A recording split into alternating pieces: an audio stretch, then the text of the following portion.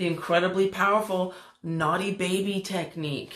Hi, I am your host, Piper Sky Cheyenne, and welcome back to Rebuild Reality, where we talk about who we really are, why we're here, and how, of course, all of this stuff works. So, first of all, I want to tell you, I would not be telling you this technique if I hadn't personally had it work for me. And the other thing about this is I've never heard of it before. I don't, I've never seen it before. I don't know anyone that's ever spoken about this or that understands it because it wasn't like a technique that I really got to know from some other manifestation people or spiritual doctrine and all that stuff. So this is how it began.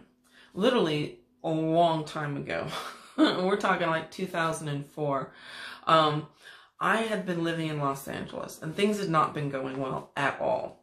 And I had been addicted to drugs. I had been living in my car, so I was homeless, you know, living basically on the streets of LA, which is not a very good thing, is it? So I ran away to Big Sur, which is this incredible place um, out in the wilderness on the central coast of California. And I always say I ran away because that's what it felt like. But anyway, when I was there, several times a day, I would have these terrible memories come up of things that had happened to me and it, they would just destroy me. And literally one day, when I remember I was at work and one of those terrible memories came up and I was just like, bam! I was just like, get out, you know? I, I, I just knew I wasn't going to make it.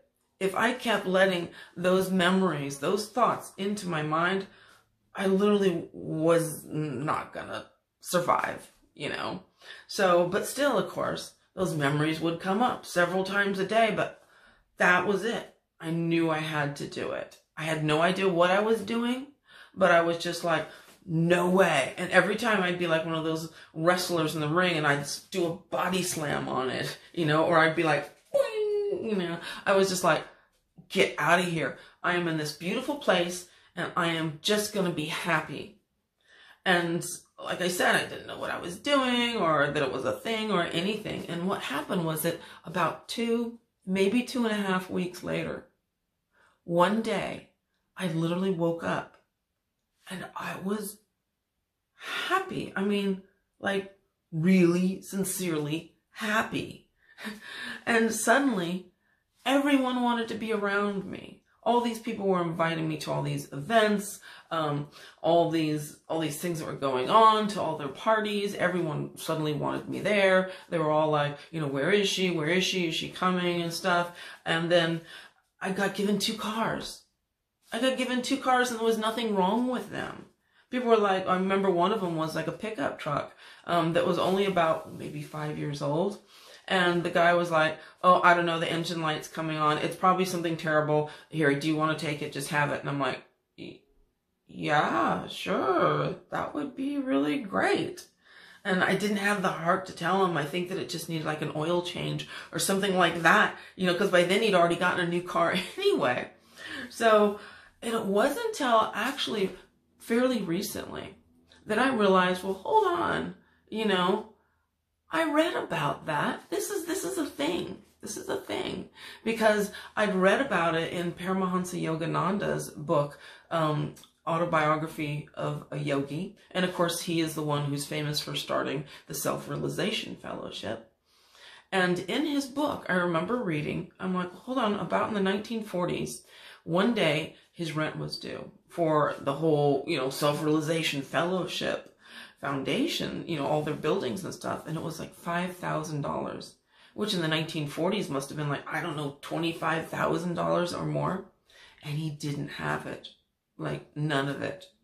And so he told his staff, he's like, leave me alone. I'm going to be in this room for today, but don't disturb me. And he said what he did was he became the naughty baby.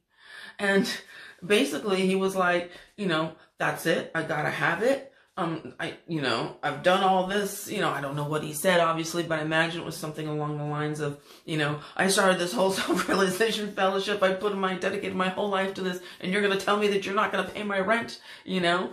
Um, so he became the naughty baby. by the end of the day, someone walked in and said, I would like to make a $5,000 donation.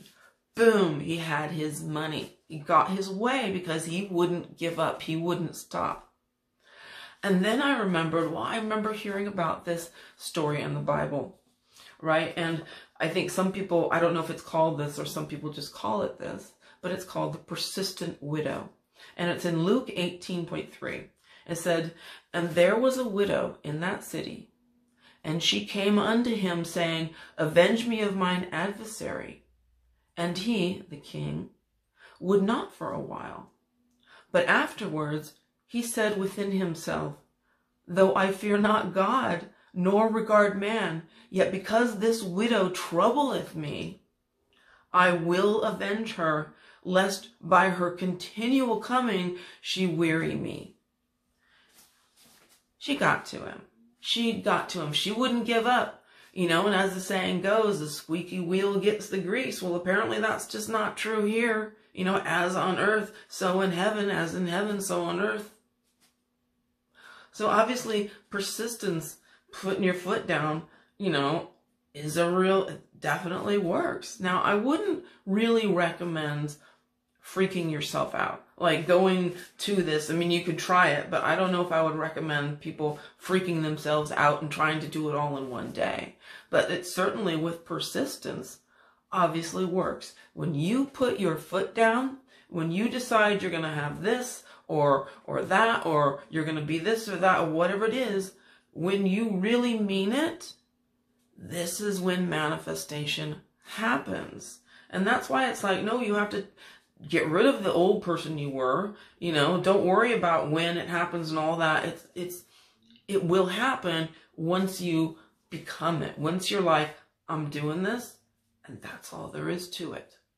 That's the person I'm going to be or that's the thing I'm going to have. And I'm, I don't care how long it takes. This is, I'm just doing it. And if I have to say it every single day, you know, several times a day, you know, it's not like you have to be like screaming, running around the room or something like that. You just have to be firm. You just have to know in your heart, you're like, no, I really did change. Because if the outside is the same as the inside, it would have to. It would have to follow through. It couldn't, it couldn't be anything but that. And that is the powerful naughty baby technique. So I am your host, Piper Sky Cheyenne. And once again, thank you for being here with me on Rebuild Reality. You know, I really, eh, you know, appreciate once again all your fantastic comments. There's just some such beautiful comments. And I'm so glad that this channel is making a difference in people's lives. And, you know, I'm so glad that you beautiful creators are here, that you're liking, that you're sharing, that you're subscribing even. And that's like, woohoo, you know, because it, it makes a difference. It helps me to keep this going, you know, because that's what I want to do. I don't want people to have to go through and to have to endure the things in life that I've had to do. So this is your shortcut. All of this stuff is your shortcut. Things that I've spent my entire life, you know, testing and learning and, and, and discovering and re-remembering from before I got here. So I hope you will join me next time on Rebuild Reality right here. Sending love to you all, and I will see you soon.